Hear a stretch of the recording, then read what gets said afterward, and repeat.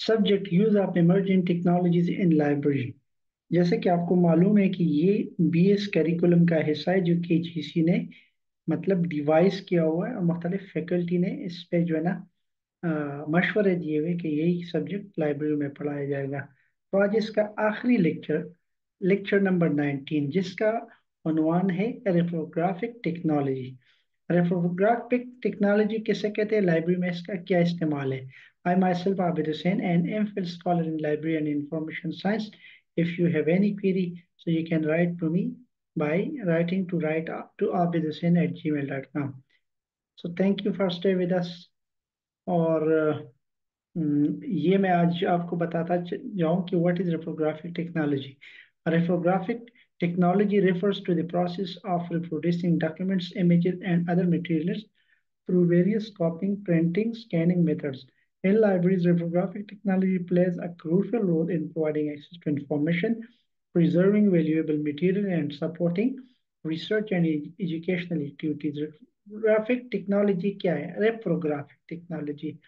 वो processing reproducing documents जब आप एक डॉक्यूमेंट को दोबारा रिप्रोड्यूस करते हैं जैसे कि आप फोटोकॉपी करते हैं स्कैन करते हैं, या दूसरे तरीके आप इस्तेमाल करते हैं, या इमेजेस को, या दूसरे किस्म मटेरियल को कॉपिंग करना प्रिंटिंग करना स्कैन मेथड्स और इसी तरह लाइब्रेरी में एफोग्राफिक टेक्नोलॉजी के बड़ा अहम रोल है। और इसका काम क्या है कि आप जितने वेल्यूएबल मटेरियल उसको प्रिजर्व करें और ताकि लोगों की रिसर्च एक्टिविटीज़ में और एजुकेशनल एक्टिविटीज़ में काम आ जाए। Reprographic technology plays a vital role in fulfilling the diverse need of library users, supporting collection management, preservation, and access to information in both physical and digital formats. Reprographic में physical information को आप digital formats में convert कर रहे हैं इसको क्या कहते हैं जो टेक्नोलॉजी यूज़ होती है इसे रेप्रोग्राफिक टेक्नोलॉजी कहा जाता है अब आ जाते हैं types of reprographic technology. Copier, black and white copiers used for making high quality copies of text-based documents, article and reports. Copier क्या होता है? फोटोकॉपियर जैसे कहते हैं। आपको ब्लैक एंड व्हाइट फॉर्मेट में किसी डॉक्यूमेंट्स की जो है ना दूसरी तस्वीर बनाना है आर्टिकल से या रिपोर्ट से। Colour copiers use for reproducing color documents, images, and graphics beneficial for presentation exhibition and visual material colour copier का इस्तेमाल तब कराया जाता है जब एक डॉक्यूमेंट्स में रंगीन तस्वीर हो printers laser printers producing high resolution print suitable for documents support sends out and promotional material. Inkjet printers offer versatility for printing color documents, photographs, and high artwork and vibrant color and detail. Scanners flatbed scanner मैंने पिछले presentation में भी Uh, इसको explain किया scan documents photographs and fragile material without damaging them suitable for archival and digitization purpose sheet feed scanner efficient for scanning multiple pages quickly commonly used for documents digitization and archival projects इस तरह microfilm micro इसको भी मैंने पिछले presentation में detail से explain किया था digitise microfilm and microfiche archives often found in historical and specialized collection. इसके साथ साथ multifunction devices MFDS combine copier, printer, scanner, and sometimes fax capability in single device, offering convenience and versatility for library user. 3D printers का भी मैंने mention किया था advanced technology for creating three-dimensional objects layer by layer used for photocopying और इस तरह Model making और educational purposes के लिए लाइब्रेरी में इसका इस्तेमाल किया जा सकता है।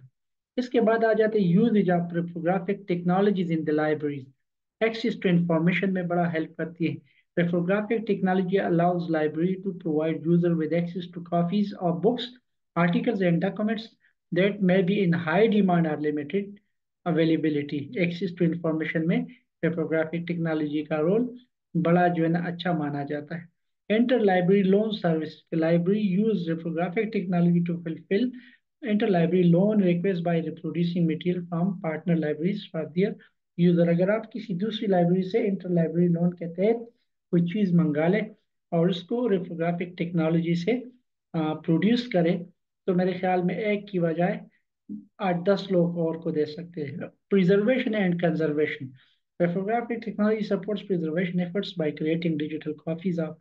fragile or deteriorating material, reducing handling of original and enabling access to preserved contents. अच्छा आपके पास जो कंटेंट्स आ जाते हैं वो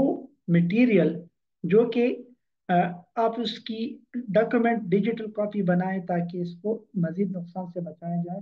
या खस्ताखाली से बचाया जाए और बार बार हाथों में पकड़ने से उस डॉक्यूमेंट्स की अगर आप प्रिजर्वेशन और कंजर्वेशन पर्पस के लिए इसको इस्तेमाल करें तो बहुत ज़्यादा लोग इससे मुस्तफ़ हो जाएँगे।